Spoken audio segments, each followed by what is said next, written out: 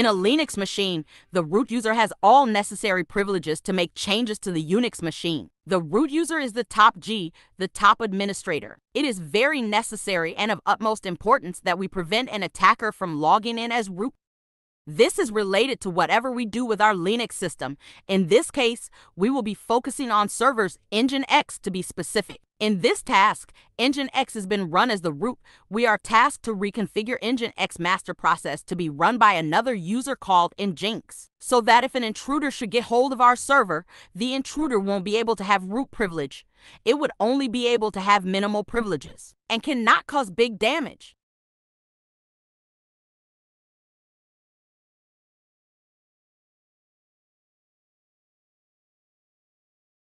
After debugging, we should get a response similar to this. Nginx user is running the master process as well as the worker processes.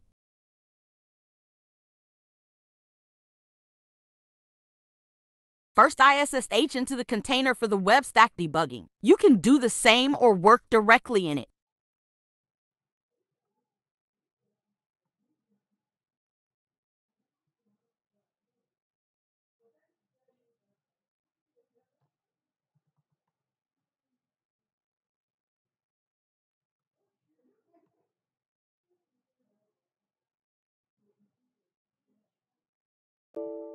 First thing is to start Nginx and see the user running Nginx.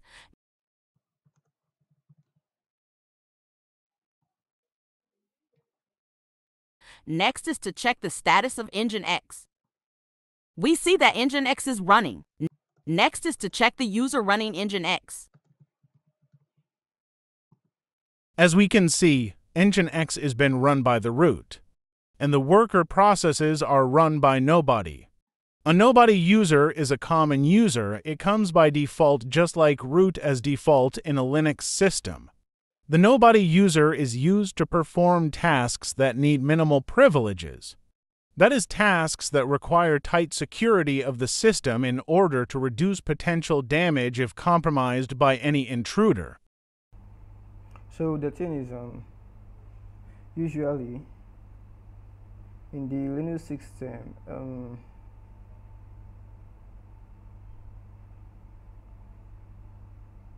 The server-like services are usually run by the user www data, but this Nginx has been configured in such a way that the this very user, this www data user, does not run Nginx so that we can be able to debug it ourselves.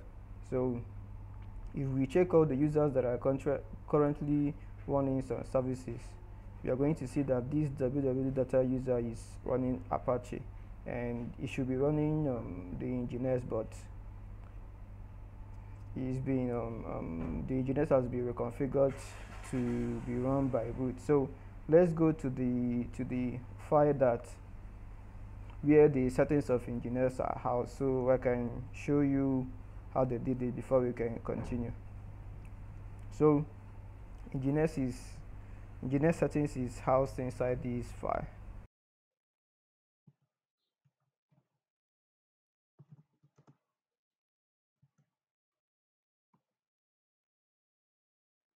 So if we see here, we see that the this line, very first line is commented where it says user space and then it, it lists the user www data. So assuming we should uncomment this, but I'm not going to, we should uncomment this and start Nginx. Nginx is going to be run by this very user. But they made it this way so that we can debug it and, and reconfigure the whole server to be run by, by the Nginx user, which has um, a lesser privilege. That is how they achieve the goal of running Nginx as root. So let's continue. So since we need to run Nginx as um, Nginx user, we would need to create an Nginx user. But before that, we will have to check the users that are existing on this system to be sure that we really need to create a new user or if the Nginx user already exists. So we are going to use the get ent command and then we pass in the user that we are looking for. and then we should know that all users can be found in this passwd directory.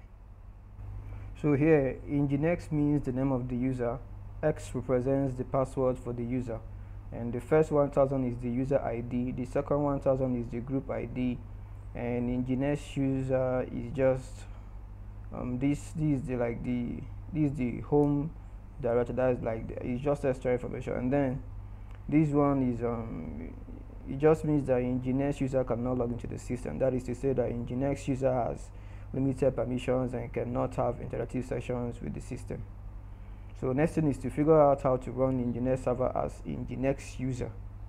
So we are going to try running Nginx server as the Nginx user using this command. So the way this works is when we say sudo hyphen u and then we say um, nginx what it means that um, hyphen u represents the user and follows by the name of the user so whatever comes after the name of the user is the command that we are going to run with the, the privileges that is assigned to the particular user so we see that we get permission denied. The reason that we get permission denied is likely because the Nginx user does not have the necessary permission to read the nginx.config file. You know, the file that we opened where we saw the www data that was commented. So we are going to go back and check the permission of all the nginx files and see what changes there we can do. So here we can see that the main file housing the Nginx server settings has no read permission for any users or group except for the top G which is the root user. So um, which is not even visible. So we will have to give a read permission to the Nginx user and his group. So you're going to use this sudo change mode to give it the uh, read permission for the group and others so 6 is for the owner of the file which is the root so 6 is gotten from um, 4 plus 2 4 means um, read 2 means write so if we add the 2 and we give it to the user which is root so he has read and write permission on this file. And then the next one is 4 which is for the group. 4 means read which means the group has read permission for this file. And the next one is 4 which is also read which means others has um, read permission for this file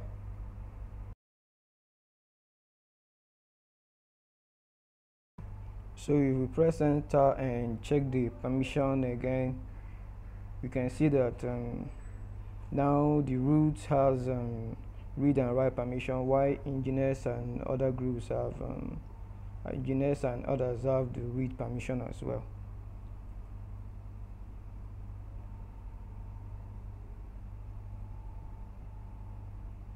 So now we can try to start Nginx as the Nginx user.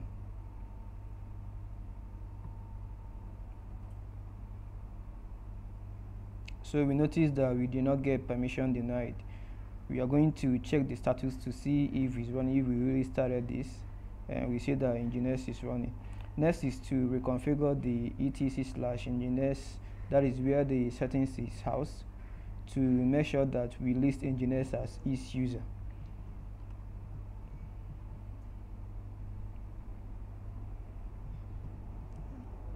We open this file and what we are going to do is to uncomment this line.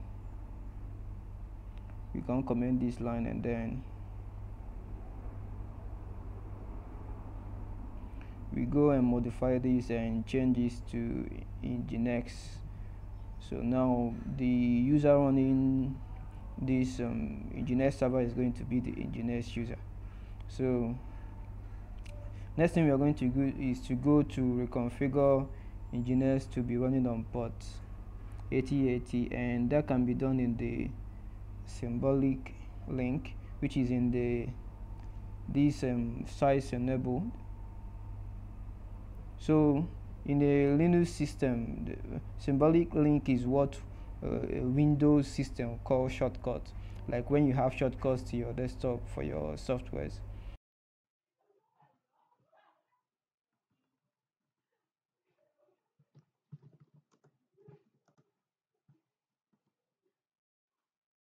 so inside this file we are going to change the listing um, derivative or whatever it's called to port 8080 for both IPv4 and IPv6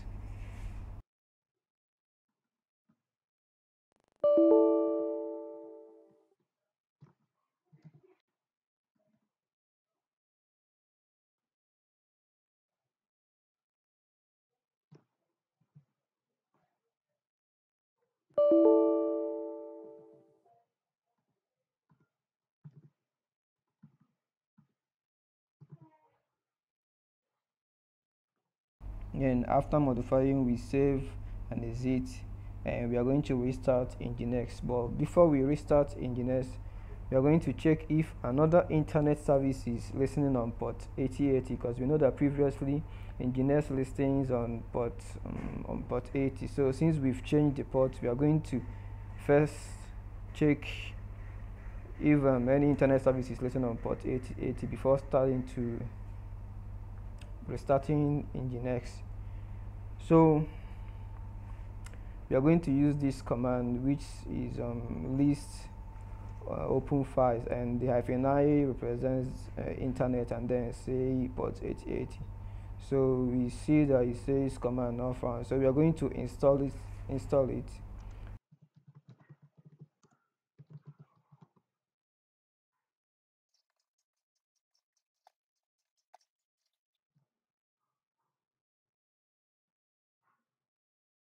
and after installation we try again.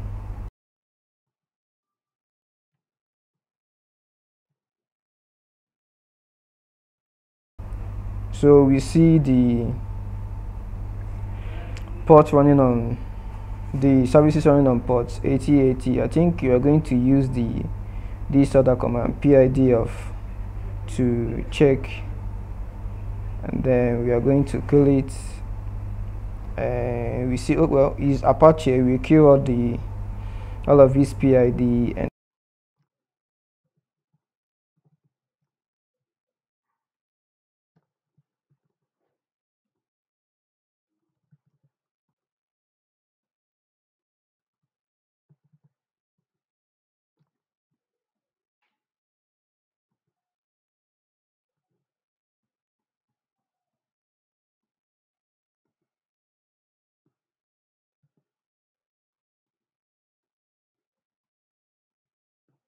and we are going to restart nginx and also change the nginx status.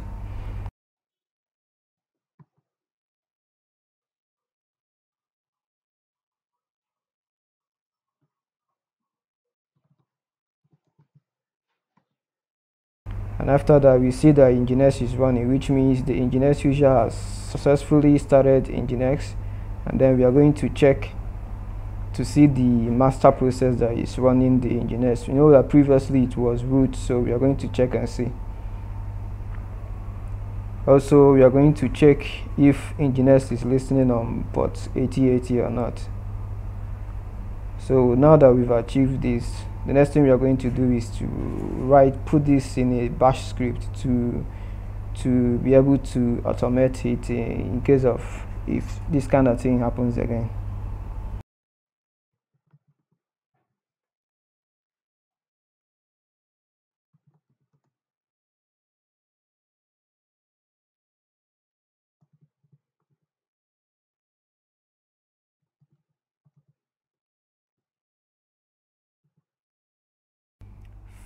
first we are going to start with the hashbang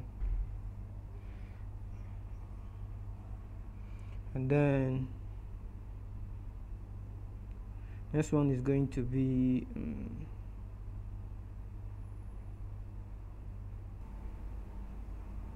we first stop in nginx we change the lizard that is supposed to be running in nginx in the config settings and then we change our port from 80 to 8080 and then we change the permission for the config file.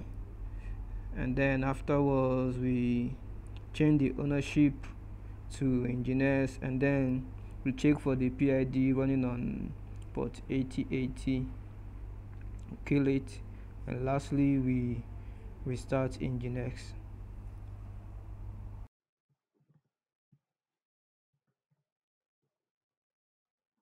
save and exit and we'll make it executable.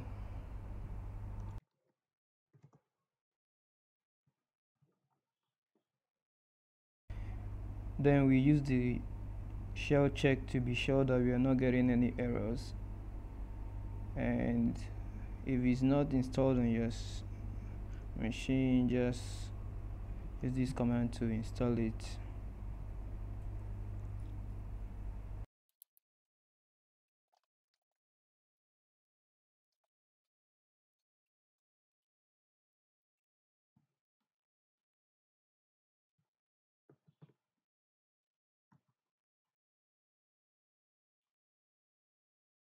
for the tax 2 we use almost the same command but reduce this to not more than seven lines. And also make it executable. As if this video helped you just please subscribe to my channel and also like the video. Thank you